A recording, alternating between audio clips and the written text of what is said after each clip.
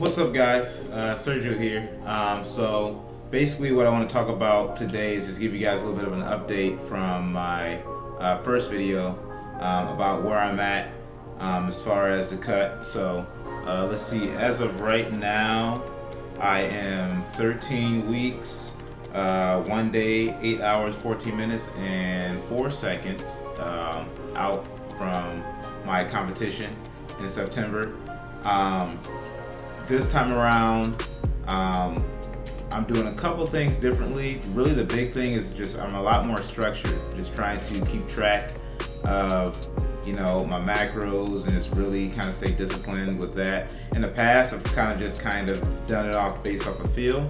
Uh, just kind of pull this out, pull this out there, but not really track my macros. But this time, I'm really tracking my macros and, and trying to make it coincide with how much I should weigh and, and um, you know, by the time this cut is over and just really just doing a lot more calculations. So getting a little bit more scientific with it, if you will.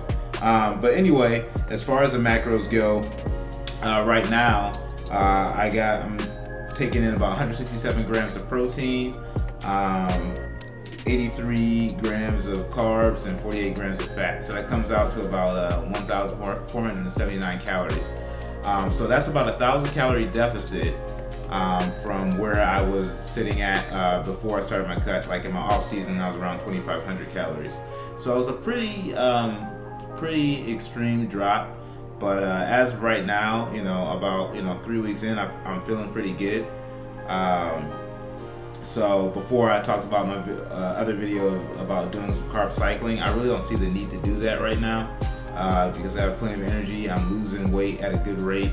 Um, so unless that changes, then I'll consider doing some kind of refeed or something like that to kind of uh, you know give me a little bit of a boost um, and more mentally than anything.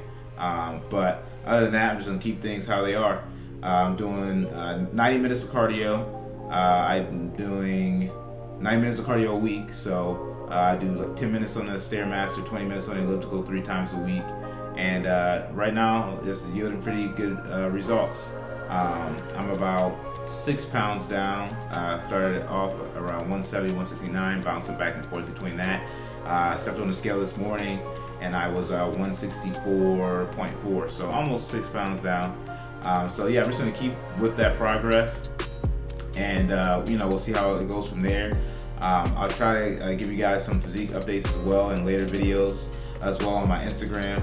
Um, if you guys want to follow me, uh, follow me on Instagram, and um, you can see some other uh, pictures and things like that that I might post on my physique, and that'll be in the description box below if you guys want to check that out. Uh, if you aren't following me already, um, but uh, other than that, that's pretty much what I wanted to touch on.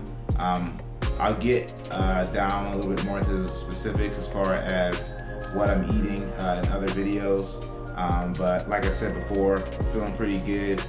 Um, really the main difference that I did as far as to get down to the amount of calories I'm taking in is really just decrease my carbs. If you kind of uh, uh, heard what I was talking about earlier as far as where my macros are at, it's really my carbs that dropped. And my fats did drop a little bit. Um, but really just dropping those carbs.